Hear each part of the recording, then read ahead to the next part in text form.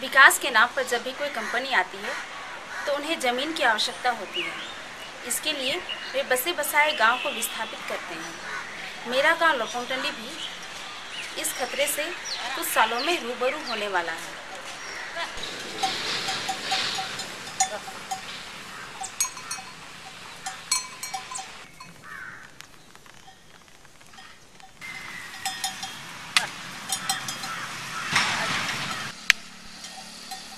ᱵᱤᱨ ᱠᱷᱚᱱ ᱫᱚ ᱪᱮᱫ ᱪᱮᱫ ᱯᱮ ᱧᱟᱢ ᱮᱫᱟ ᱵᱤᱨ ᱠᱷᱚᱡ ᱞᱮ ᱧᱟᱢ ᱮᱫᱟ ᱱᱮᱛᱟᱨ ᱱᱚᱣᱟ ᱥᱟᱣᱟᱱ ᱢᱟᱹᱦᱱᱟᱹ ᱠᱟᱱᱟ ᱮᱞᱛᱟ ᱞᱮ ᱟᱹᱜᱩᱭᱮᱫᱟ ᱚᱱᱟᱞᱮ ᱟᱹᱠᱷᱨᱤᱧ ᱮᱫᱟ ᱚᱨᱛᱩ ᱞᱮ ᱦᱟᱞᱟᱝ ᱮᱫᱟ ᱚᱱᱟᱞᱮ ᱟᱹᱠᱷᱨᱤᱧ ᱮᱫᱟ ᱩᱵ ᱯᱩᱴᱠᱟᱹ ᱦᱮᱸᱫᱮ ᱩᱵ ᱠᱚ ᱯᱩᱴᱠᱟᱹ ᱠᱚ ᱩᱱᱠᱩ ᱠᱚᱞᱮ ᱟᱹᱠᱷᱨᱤᱧ ᱮᱫᱟ ᱚᱱᱟ ᱠᱚ ᱮᱠ ᱫᱩ ᱯᱚᱭᱥᱟ ᱦᱩᱭᱩᱜ ᱠᱟᱱᱟ ᱚᱱᱟᱛᱮ ᱵᱩᱞᱩᱝ ᱥᱩᱱᱩᱢ ᱦᱩᱭᱩᱜ ᱠᱟᱱᱟ ᱟᱨ ᱳᱦᱤ ᱟᱵᱨᱤ ᱞᱟᱡ ᱦᱟᱹᱥᱩ ᱠᱚ ᱨᱮᱱᱟᱜ ᱦᱮᱱᱟᱜᱼᱟ ᱚᱱᱟ ᱠᱚ ᱢᱮᱛᱟᱜᱼᱟ ᱛᱤᱡᱩ ᱢᱟᱞᱟ ᱨᱮᱦᱮᱫ ᱚᱱᱟ ko ᱞᱟᱡ ᱦᱟᱹᱥᱩ ᱢᱮᱠᱷᱟᱡ ᱨᱤᱜᱟᱢ ᱢᱮᱱᱠᱷᱟᱡ ᱡᱟᱹᱲᱤ ᱵᱩᱴᱤ ᱨᱮᱫᱚ ᱚᱱᱟ ko ᱞᱟᱜᱟᱣ ᱢᱮ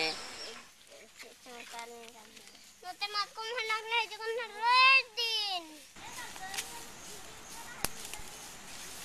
बहुत पैसा हुई कान गिया हुनर लिखाए दो खर्चा हुई कान गिया सब कुछ एम माथा दाड़े गिया और जुदी बीर चाबाएन चाबाएनगी पासे नोड़े खदान है गी खान दो चे बन चुके चिकया चे चिकया बाद रे दो तो लिंकन जगह गया रखो सेंद्राया सहार दो बाबम चला दे हाथी होड़ दो बाबन जी दाड़े कहे कि अब बहुत रोज़गार होड़ बना बाबन कहे दाड़े खेती बारी पे किस तरह से प्रभाव कर रही है खदान कुलेरी देखिए खेती बारी में तो हम लोग को समझिए प्रभावित अब हम लोग ज़्यादा हो रहे हैं धीरे धीरे क्योंकि आगे भी माइंस है पीछे भी माइंस है हम लोग का जला स्तर बहुत नीचे चला जाता है। कुआँ एकदम सूख जाता है उस समय। केवल हम लोग इस गाँव में सिर्फ़ एक ही कुआँ पे आश्रित रहते हैं उस समय। खेती उनके लिए पूरा पर्याप्त मात्रा में हो जाता है पूरा साल भर खाने के लिए? इतना पर्याप्त मात्रा में तो नहीं हो पाता लेकिन हम लोग आठ दस महीना खाने लायक हम लोग उपजा लेते हैं और बाकी हम लोग मजदूरी करके गुजारा कर लेते हैं उसमें।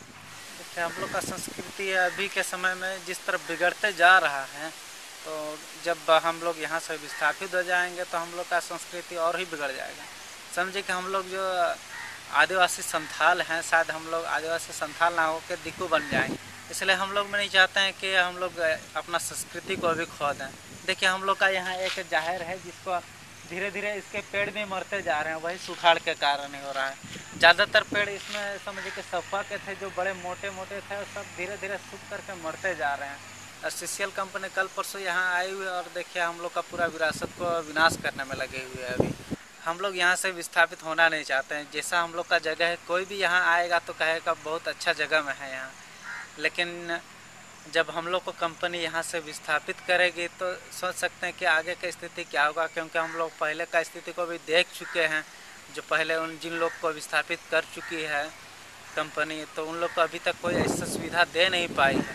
और हम लोग यहाँ से इतने लोग फिर विस्थापित होंगे तो हम लोग तो जिस तरह का इस, अभी जीवन स्तर से हम लोग हैं, शायद ये भी नहीं रहेगा। हम लोग भुखमरी के शिकार भी हो सकते हैं।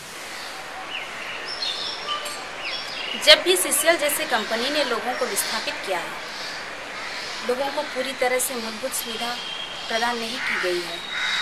मैं और मेरे समुदाय को भी यही डर है कि जब हमें विस्थापित किया जाएगा तो हमें भी इस खतरे का सामना न करना पड़े। मैं और मेरा समुदाय यही चाहते हैं कि जब हमें विस्थापित किया जाए तो सही पुनर्वास के साथ साथ मूलभूत सुविधा एवं पूरी आज़ादी, चैन सुकून भी हमें मिल सके, ताकि हमारी संस्कृति भी ज़िंदा रह सके। मैं बसंती सोरेन झारखंड के रामगढ़ ज़िले से इंडिया आने के लिए।